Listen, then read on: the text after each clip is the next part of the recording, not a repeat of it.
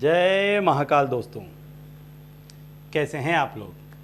आशा करता हूँ भले चंगे होंगे, मज़े में होंगे। दोस्तों, आज मैं आपको एक ऐसा प्रयोग बताने जा रहा हूँ कि जिसको करने से आपकी काया पलट हो जाएगी। जो कोई भी व्यक्ति इस प्रयोग को करेगा, उस व्यक्ति की काया पलट होना निश्चित है, तय है।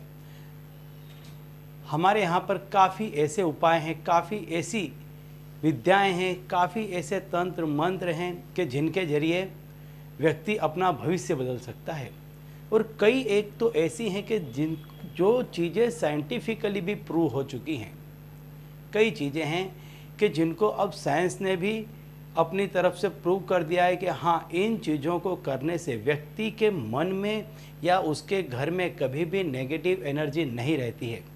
नेगेटिव एनर्जी ही वह वस्तु है कि जो व्यक्ति को मात देती है, हार दिलाती है, उसको दरिद्रता और गरीबी में जीवन जीने के लिए मजबूर करती है। जिस किसी भी व्यक्ति के घर से या उसके दिलो दिमाग से नेगेटिविटी चली जाएगी, वह व्यक्ति हमेशा ही अपने जीवन में प्रगति करेगा और अपने साथ साथ अपने आसपास रहने वालों के जीवन में भी रोशनी डालेगा। तो आज मैं आपको ऐसे ही कुछ उपाय बताने वाला हूँ कि जिनके ज़रिए आपका जीवन समूलता बदल जाएगा।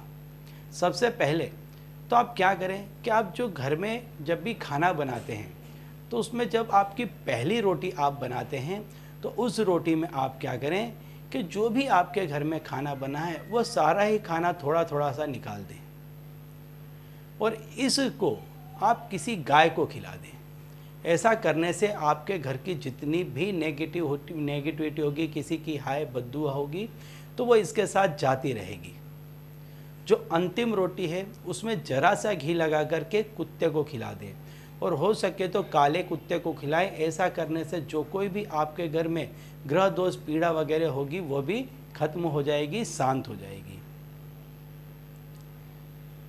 सवेरे के समय आप एक काम और करें। कि घर में हमेशा आपका जो घर का मुख्य दहलीज है, चौखट है, उस पर दिया हमेशा लगाएँ। घर में पूजा का स्थान नहीं है तो पूजा का स्थान ज़रूर बना लें और उसको उत्तर पूर्व या पूर्व दिशा की तरफ़ रखें। या तो पूर्व दिशा में रखें या उत्तर पूर्व कोण में उसको रखें, लेकिन हमेशा घर में एक पूजा का स्थान होना चाहिए।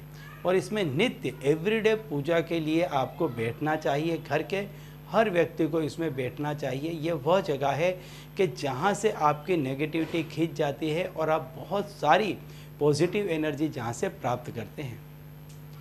शाम के समय जब भी आप घर में आते हैं, बाहर से कहीं से भी घर पर आते हैं तो आते के साथ सीधे ही आप जाएँ और फ्रेश हो जाएँ, हाथ पैर वगैरह साफ़ से धो करके फ्रेश हो जाएँ। इसके बाद ही घर के मेंबरों के साथ बैठें। इससे भी आप जो कोई भी नेगेटिव एनर्जी लेकर के आए होंगे, वो सारी ही नेगेटिव एनर्जी चली जाएगी। और हो सके तो इसके बाद तुरंत ही जहाँ पूजा का स्थान है, वहाँ जाएँ, पाँच मिनट बैठें, प्रभु का स्मरण करें, पूरे दिन में क्या हुआ उसका ध्यान करें। ये करने से भी आपके दिमाग में, आपके दिल में काफ़ी शांति महसूस होगी। यदि आपने किसी चीज़ को हासिल किया है तो उसके प्रति आप दृढ़ बनेंगे। और यदि आपने उस दिन कुछ खोया है, कहीं हार पाई है तो अगले दिन आप उस चीज़ को पाने के लिए और ज़्यादा मज़बूत बनेंगे, अधिक प्रयत्न करेंगे। इसके साथ साथ आप सवेरे के एक दो प्रयोग और कर लें तो आपका जीवन सफल हो जाएगा। जब आप सवेरे उठते हैं तो उठते के साथ ही आप बिस्तर पर जब बैठे हैं, बैठे बैठे ही आपको यह क्रिया करनी है और इस संपूर्ण क्रिया में आपको पाँच मिनट से अधिक का व्यक्त वक्त नहीं लगने वाला है, लेकिन ये पाँच मिनट आपके जीवन को बदल देंगे। जब आप सवेरे उठते हैं बिस्तर में तो हो सके तो पूर्व या उत्तर पूर्व दिशा की तरफ़ मुख कर लें, नहीं कर पाते हैं, कोई दिक्कत नहीं नहीं ध्यान रहता है, कोई बात नहीं। जहाँ बैठे हैं, बिस्तर में उठ करके बैठ जाएँ दोनों हाथों को इस तरह से कर लें। और इसकी जो लकीरें हैं, इन दोनों लकीरों को आपको आपस में मिला देना है। और इसको देखते हुए आपको बोलना है कराग्रह वस्ते लक्ष्मी कर मध्य सरस्वती कर मूले तु गोविंद, प्रभाते कर दर्शनम। ये आपको बोलना है और तीन दफ़े आपको इस तरह से आपके चेहरे से हाथ घुमाना है। ऐसा करने से जितनी भी आपके पास में नकारात्मक शक्ति होगी, वो सारी चली जाएगी और आप उसी क्षण पॉजिटिव एनर्जी से भर जाएँगे। दूसरा, ये जो चीज़ बता रहा हूँ, ये भी साइंटिफिकली प्रूव हो चुकी है कि जब भी आप अपना पैर बिस्तर से नीचे रखें, तब आप ये चेक कर लें कि आपकी कौन सी नासिका चल रही है।